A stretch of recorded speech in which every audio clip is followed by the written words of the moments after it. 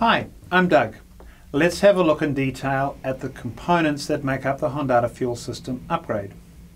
We've engineered all the components for this direct bolt-on fuel system to make 25% more power for your FK8.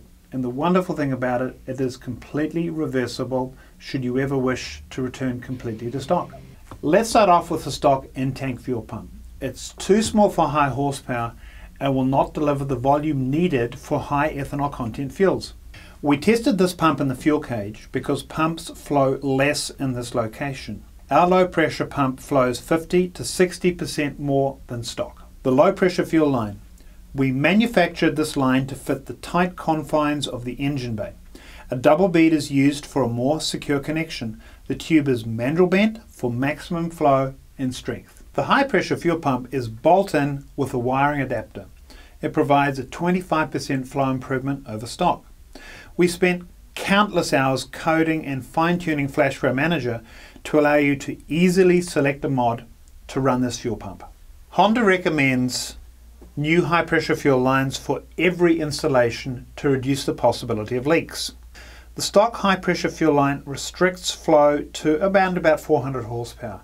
In this example of a 450 horsepower FK8 engine, the top line is the commanded fuel pressure from the computer.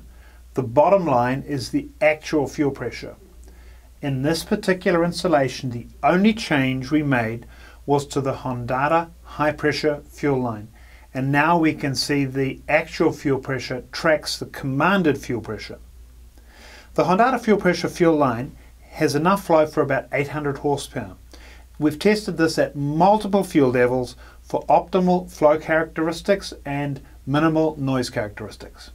The Hondata fuel system upgrade injectors flow 20% more than stock.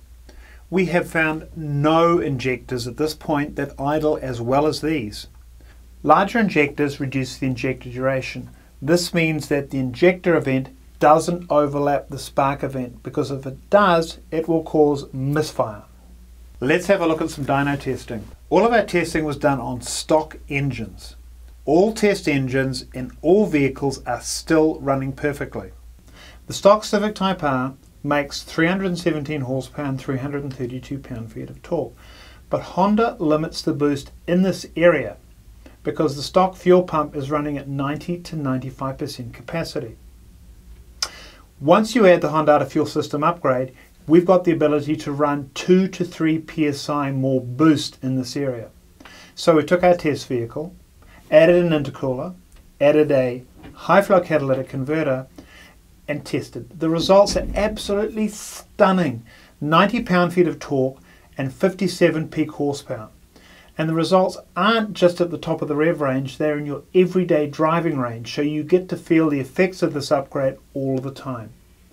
This calibration, along with all the others following, are included with the Hondata fuel system upgrade. This 477 horsepower Full-Race turboed FK8 is running on E40. We chose and we stuck with ethanol because of its availability. For the weekend track warrior, we developed a race fuel tune. Over 500 horsepower, almost 190 horsepower over stock. With a more aggressive tune, you can reach even higher power levels.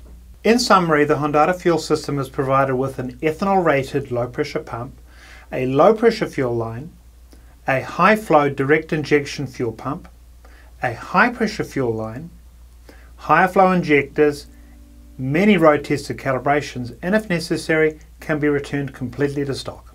Now available from our online store or dealer network. Be sure to subscribe and thank you for watching.